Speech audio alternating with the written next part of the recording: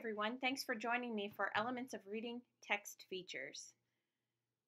As teachers, we know that text features are important to point out and to use in our instruction. Today we'll talk a little bit more about why they're important, uh, what they can help students understand better, and how we can incorporate them into a close reading lesson. Let's listen as two students describe how they're using text features. Physics textbook? Oh, no. Uh, this is just a mystery, kind of. A mystery novel? You? No way. Not a novel. It's a real life crime mystery The Flying Bandit.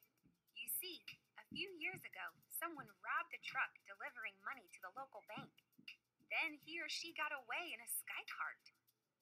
A sky cart? What's that? It's really cool. It's like a go kart with a parachute on it, so it can fly.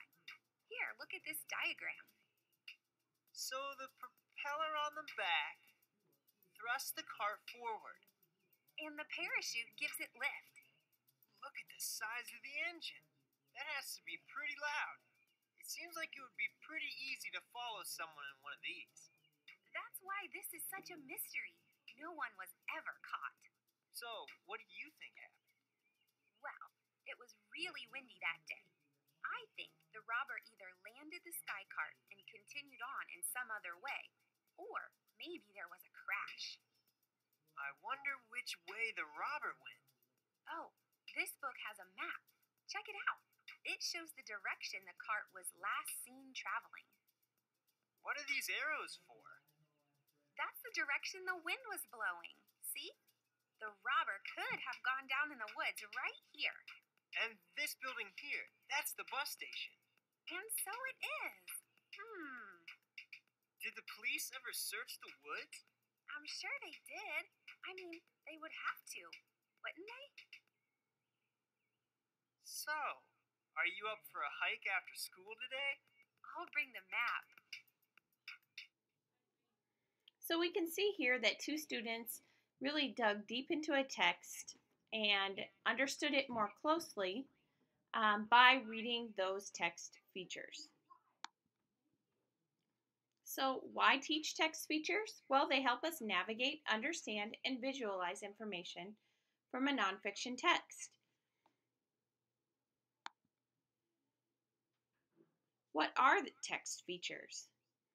Text features are all of the components of a story or article that are not the main body of text. So let's see some examples of those. Different text features that we use with our students are a table of contents, captions, graphs and labels, timelines, font styles, sidebars, glossaries, headings and subheadings, maps, illustrations, and indices. We're used to using all of these important text features with our students, but do we know to call them text features? Do we know how to point them out and have them help the students dig a little bit deeper? It leads us to the question of how can text features be incorporated into a close reading lesson? Well, we're going to use them to understand that text at that deeper level. The first read in close reading usually asks, what does the text say? This is the place where we ask those very literal questions. And so we're going to ask literal questions this time focused on the text features. And of course, these can be incorporated with many other literal questions as you do a close reading lesson. Some examples of what those questions could be was are um, what route on the map shows the path of the Oregon Trail? Or looking at the graph, which year showed the highest population increase? Or what event happened before the invention of the cotton gin on the timeline? So again, they're, they're those right there questions that the students can answer using evidence from their text, or from the text features in this case, um, to get to know the surface level of that text. On the second read, we focus on how does the text work?